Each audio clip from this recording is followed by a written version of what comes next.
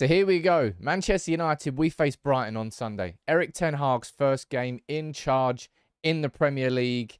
And we're going to have to do it without a recognised striker. Anthony Martial is injured.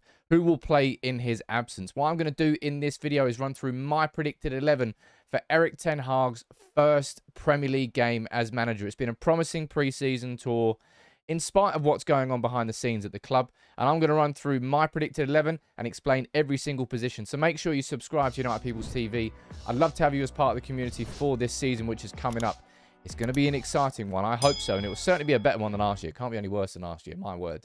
If you had asked me at the start of the week, Sam, what's your predicted 11 going to be for the game? I probably would have said this. I was thinking about this before we started. Obviously, it'd be a bit weird if it didn't.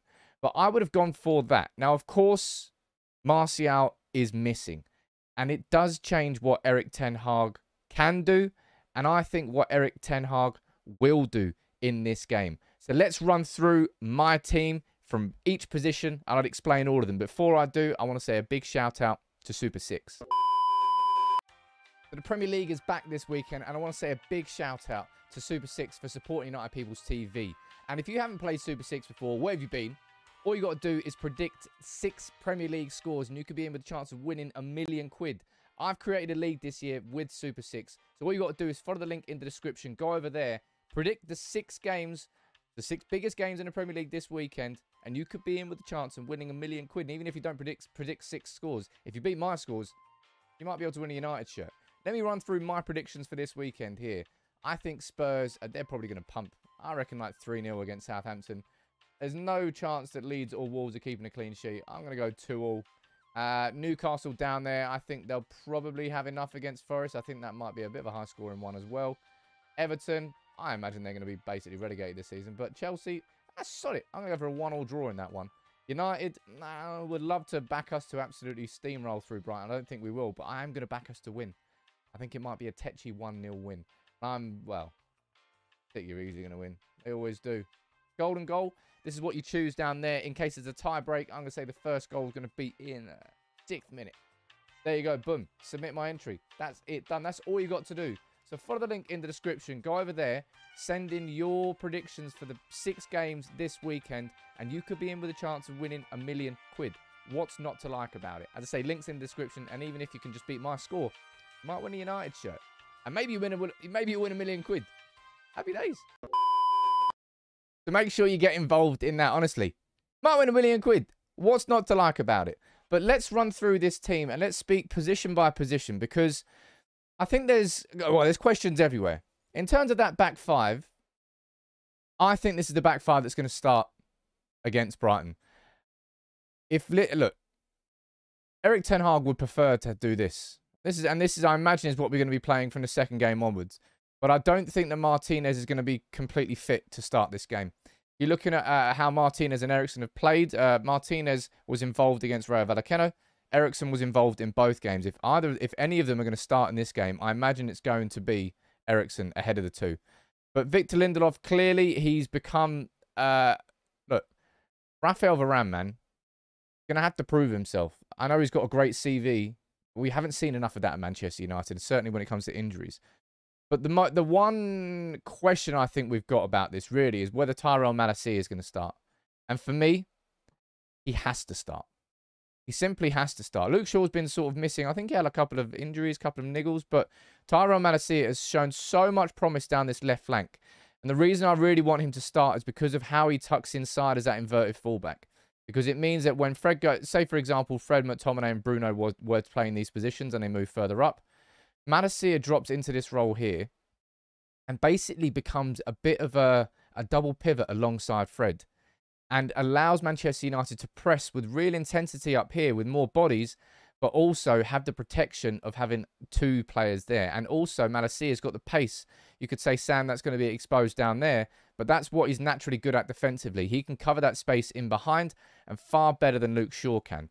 So in my opinion, Tyrell Malacia has to start this game. I really want to see him start. And it's not just a case of being excited by a new face. Been really impressed by how he's played in the preseason. And he naturally plays that Ten Hag system a little bit better than Luke Shaw. Shaw, I think, has to work his way. I mean, it could be either of them. My personal choice would be Tyrell Malacia. And of course, Diogo Dalot is going to be starting uh, starting right back. Maguire and Lindelof, is it our best centre back partnership? No, it's not. Martinez needs to get in there ASAP Rocky, and he should be in there from the second game, I think, after another week of preseason. Uh, sorry, not preseason training, but training. I think he should be fit to start. Now, there's more questions to ask in midfield because this guy is missing. But Anthony Martial is missing from this game, right? So what happens?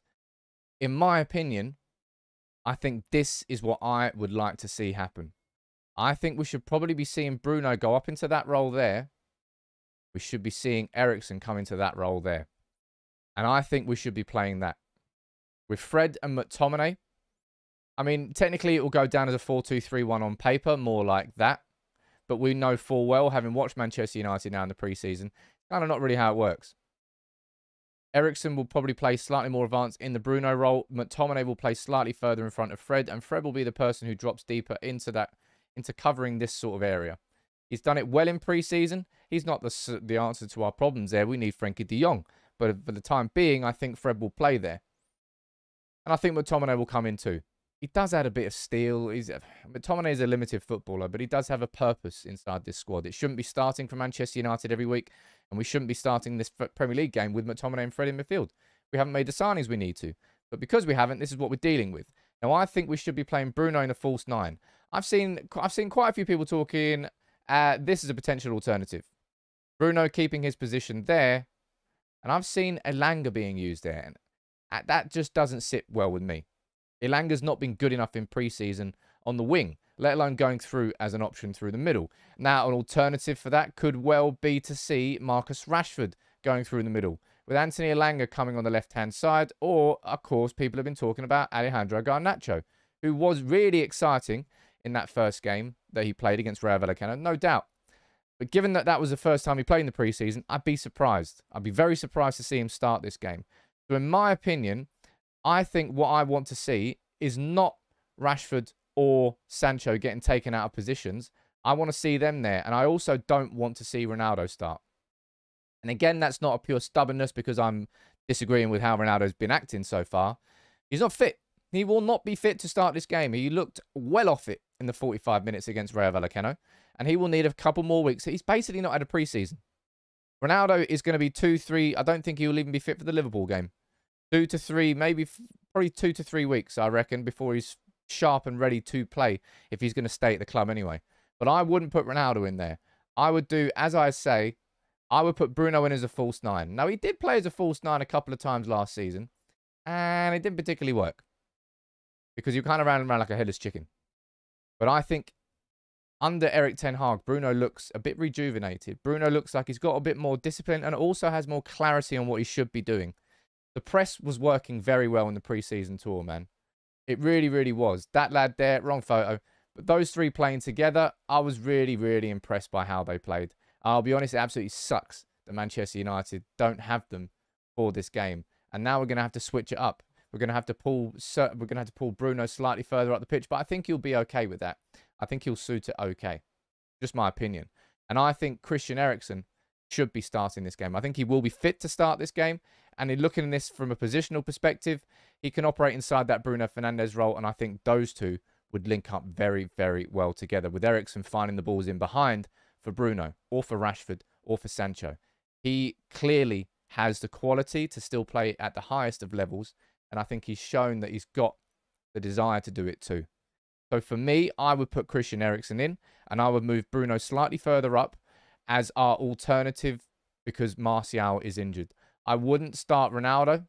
I wouldn't start Elanga. I don't think Amad's capable physically of coping with the Premier League. That's just my opinion. And I think Pellistri, well, he's been okay, but that's on the right wing, and I don't want to go anywhere near our go-to guy. I hope Sancho's completely and utterly fit for this game. We need him. He was a danger in the preseason tour. But that would be my starting 11 for the game against Brighton. The back five there of David De Gea with Dalot and Malas Malacia on the wings as the fullbacks.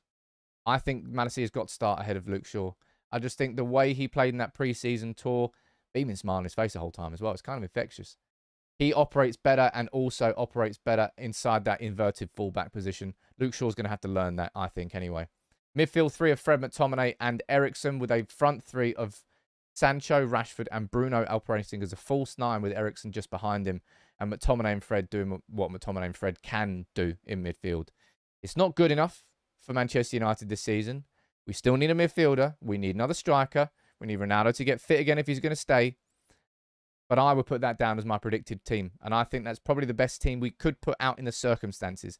You can let me know what you think. I really want to see Martinez fit for the next week. I want to see De Jong coming in, of course I do. And I want to see Sesko and Ziyech. That's what I want to see between now and the end of the window. See what we do see. But what's your prediction? I'm predicting United to win 1-0. Might be wrong there. Let's find out. But I was really impressed by how United played in the preseason. I hope that wasn't misplaced. And it's such a shame, a shame, as I said, that that was looking like it was going to be electric at the start of the season. We're going to have to deal without it. And in my opinion, the way to deal with that best is Bruno in the false nine role. You can let me know what you think in the comments below, but I don't think it should be Elanga. I don't think it should be Ronaldo. I don't think Garnacho will start. You can let me know what you think, as you always do in the comments, though. I'll, I'll see you after the game on Sunday.